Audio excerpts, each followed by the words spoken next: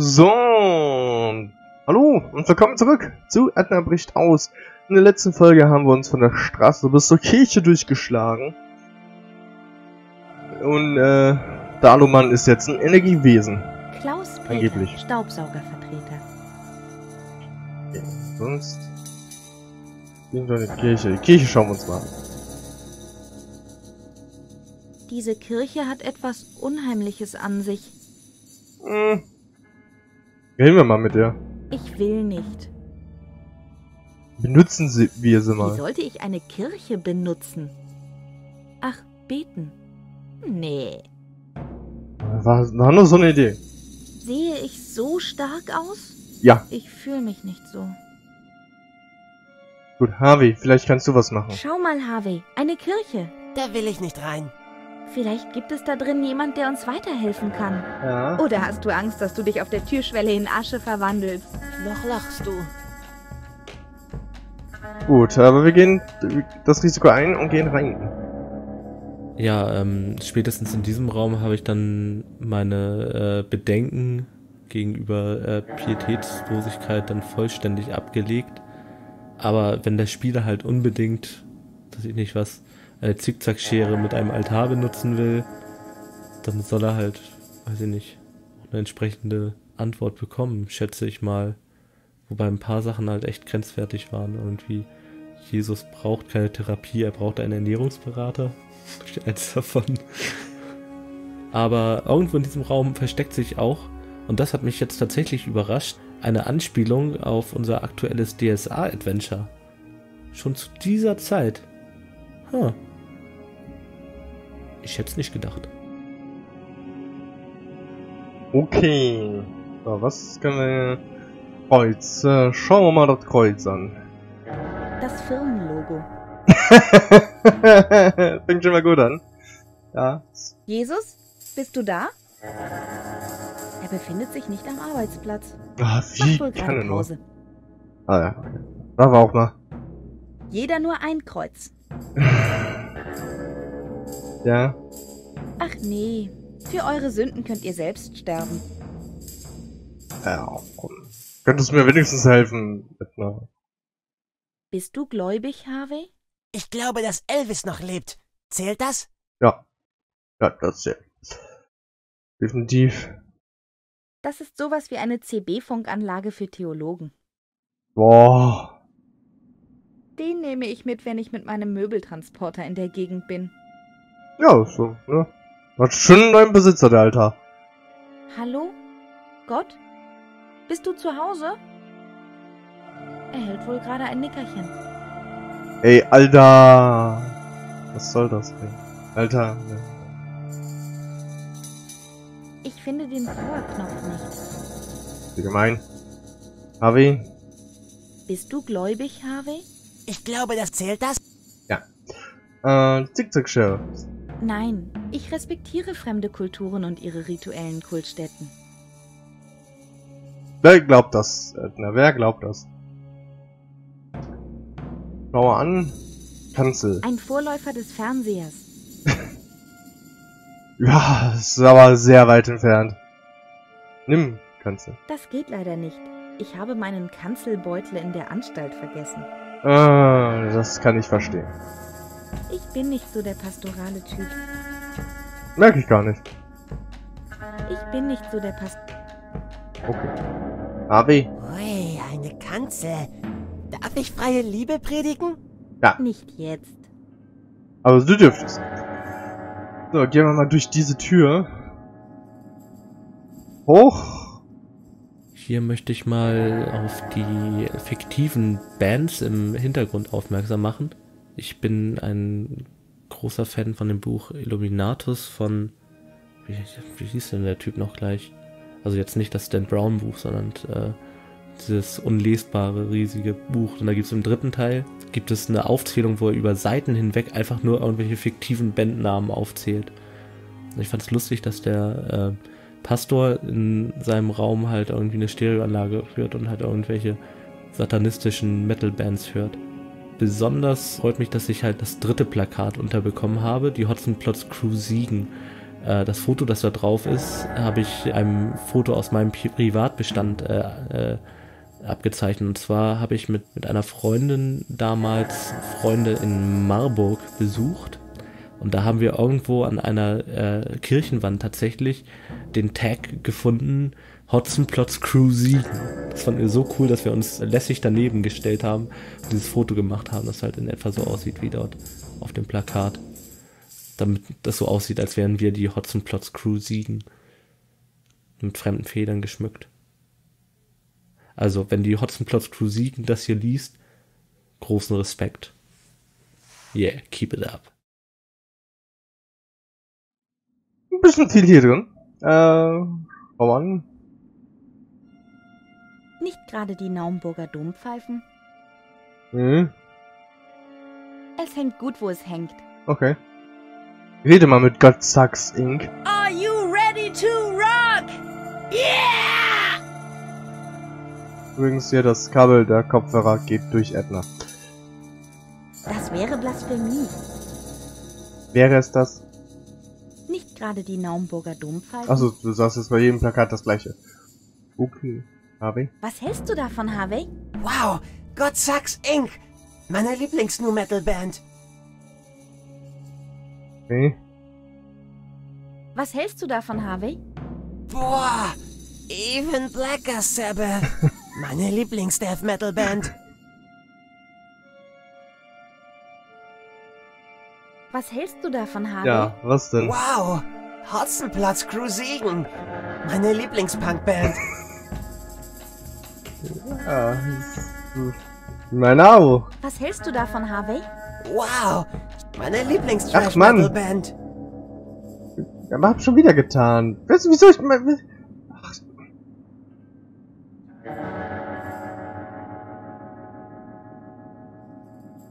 Was hältst du davon, Harvey? Wow, Sacrilegia. Meine Lieblings-Speed-Metal-Band. So, Was gab's noch? Ah, das Buch, das schauen wir uns mal an. Oh. Ups, äh. äh hä? äh, nicht. Äh, raus. Um. Hm. Äh. Fernseher. Schauen wir uns mal den Fernseher. Es läuft ein Musiksender. Dann nehmen wir ihn doch mal mit. Nicht doch, Harvey. Erst lassen wir uns für geistig gesund erklären. Dann können wir immer noch Fernseher aus Kirchen klauen. Okay. Okay. Highway to hell. I'm on a highway to hell. Ich muss doch sehr bitten. Stimmt, wir sind immer noch in einer Kirche. Ich will das noch sehen. Tut mir leid. Nicht. Lass uns Zombie-Filme gucken. Später, Harvey. Der Post möchte auch noch. Ja, da hat zuerst das andere recht. Nette Anlage. Ja, nehmen wir den mal mit. Genau, in die Kirche einbrechen und die Stereoanlage klauen. Ja? Geht's noch? Ja? Klar, machst du das nicht etwa? Da spreche ich lieber erst mit meinem Anlageberater. Wow. Keine Zeit, Musik zu hören. Aber, Guck mal, Harvey. Eine Stereoanlage. Denkst du, was ich denke? Party! ja, schauen wir uns mal die Kopfhörer an. Damit kann die Musik nicht mehr an den Ohren vorbeigehen. Ja. Ja, ja, ja. Hey, Finger weg. Der war teuer. Entschuldigung. Hallo? Hallo? Komisch. Er hört nicht. Na nur. Keine Zeit, Musik zu hören. Nie Zeit. Ein Heft. Das ist eine Fachzeitschrift für Gitarristen. Okay. Äh, nimm. Mit dem Fachchinesisch kann niemand was anfangen. Ah. Heftig, heftig, heftig. Ja, ja. Ich auch. Deswegen. Das interessiert mich nicht wie Bohne. Hm. Harvey. Sieh nur, Harvey, eine Fachzeitschrift für Gitarristen. Ein Mach-3-Zeitschrift für Exorzisten? Ja. Nein, eine Fachzeitschrift. Für Gitarristen. Ach so, dachte ich's mir doch. Aber wie bekommen wir dann die Exorzisten zurück ins Mittelalter? Weiß ich nicht. Das müssen wir noch äh, schauen. So. Ein Verstärker. Nicht schlecht. Nimmer. Hey, Finger weg. Der war, Der war teuer. Ich brauche Verstärkung. Dann bin ich dein Mann. Ja. Uh. Hey, Finger weg. War teuer. Was hältst du davon, Harvey? Rock'n'Roll! Bin dabei. Schon super. Sieht gemütlich aus. Ich nehme das in mein cooles Ideeninventar auf, okay?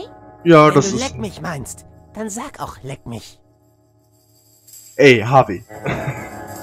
Komm, Edna, setz dich ruhig. Nein, ich muss weiter. Okay. Es wäre ja nur für einen kurzen Augenblick.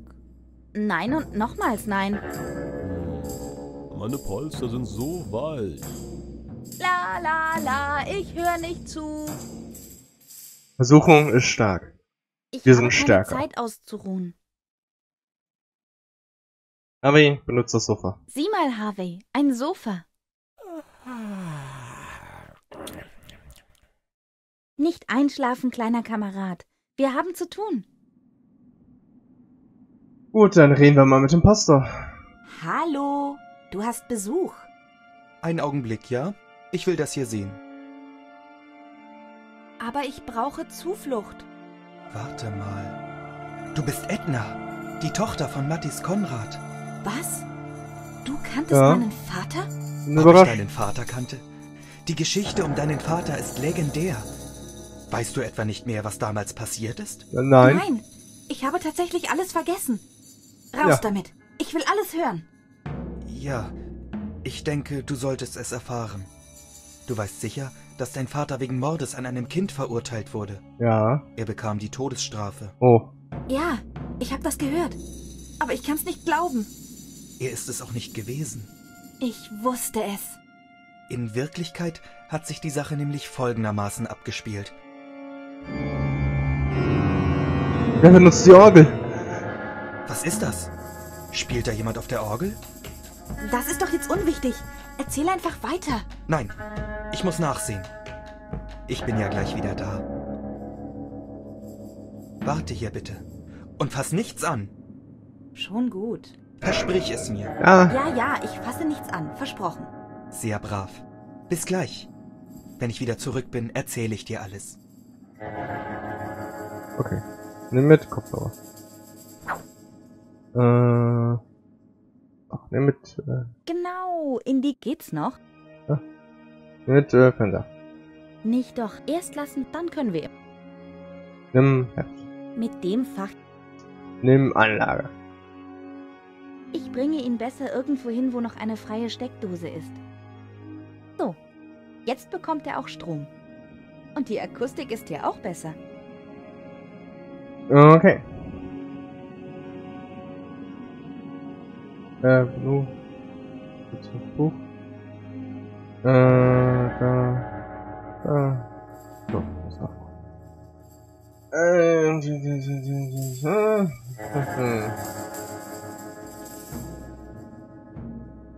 Oh Gott. Was ist? Oh. Die. Äh, ja, okay. Oh, dann, wupp, wupp. Äh. Ah. Äh. Hm? Mhm. Mhm. Okay. Mhm. Ah, ah. Ah. Uh, uh, huh, huh, huh, huh. Huh. Huh, huh, huh. Okay.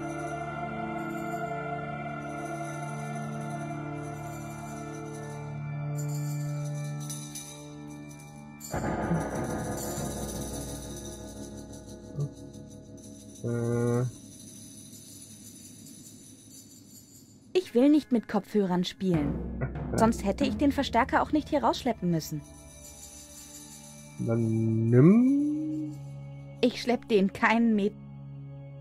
Rede. Rock'n'Roll. Wenn ich benutze, mache ich den wieder aus.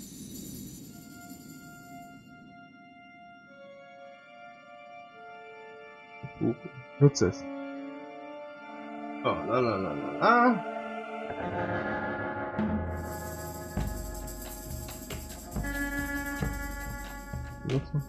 Okay. Machen wir es einfach mal an. Gehen hier runter.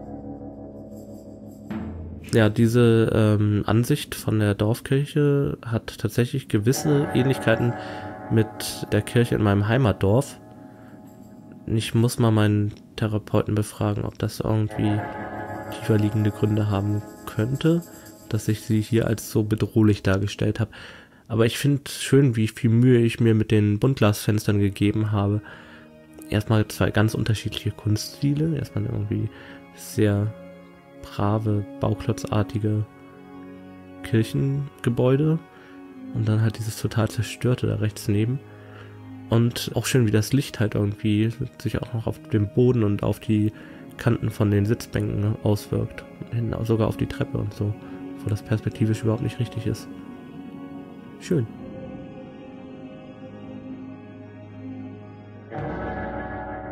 Ja, aber hier machen wir beim nächsten Mal weiter. Ich bedanke mich fürs Zusehen und sage Tschüss. Bis zum nächsten Mal und auf Wiedersehen.